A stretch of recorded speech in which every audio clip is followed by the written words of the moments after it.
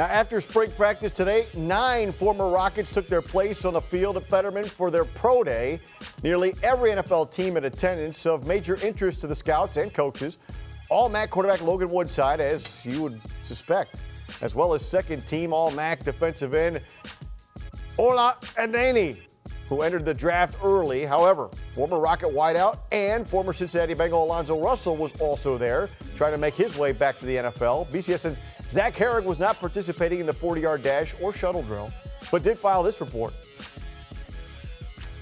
That's right, Eric. There was a lot of talk today about quarterback Logan Woodside and defensive end Ola Adeniyi here at Pro Day. It was really their last chance to impress coaches and scouts ahead of the NFL draft, and they certainly did that as their stocks are on the rise. Logan Woodside is coming off of a solid performance at the NFL Combine, but today, another opportunity to show teams what he can bring to the NFL. At the combine, it was a lot of medical and that type of stuff, and then obviously the, the physical on the field running, testing, which I did good and all that. So I felt like all I needed to do was come out here today and just throw, um, have a script ready, something that I felt comfortable with that I could go and show what I needed to do. I think I did really well. Um, I think you know my feet were good. Um, you know, made the throws I needed to make, missed a few, but corrected them. So that was good for me to do, and I felt like you know I did the best I could do today. And the reviews are in. Many walked away impressed with Woodside's performance today. That includes former Toledo quarterback Bruce Gradkowski and Woodside's former teammate Kareem Hunt. I mean, I think he's doing a great job. You know, Logan, he has his mindset. He, he's physically fit. He throws the ball just as well, if not better, than a lot of these quarterbacks coming out of the draft, and his footwork's better. So those are two things that stand out to me. You're going to hear a lot more Logan Woodside just with the things he's doing, and the coaches now being able to get him get to see him in person.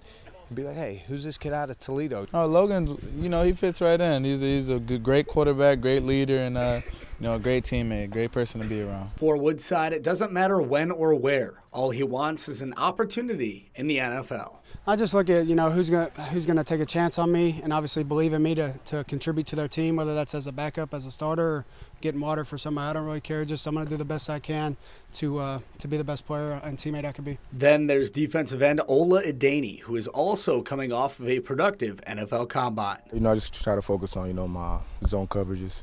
Um, you know, the season went by. I didn't really do a lot of uh, pass dropping and things like that. I just did a lot more pass rush and things like that. So today I kind of showed them that I could do both.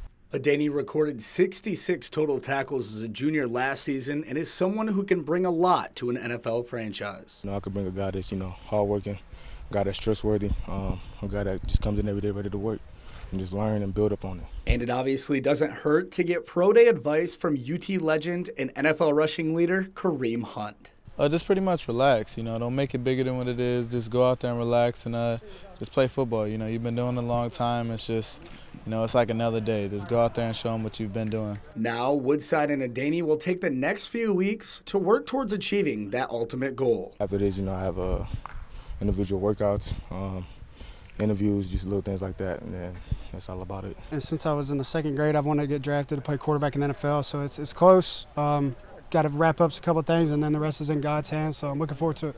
So now it's time to wait and see if Adeniyi Woodside will be drafted in the 2018 NFL Draft, which will be held in Dallas beginning on April 26th. From Fetterman Training Center, Zach Harig, BCSN.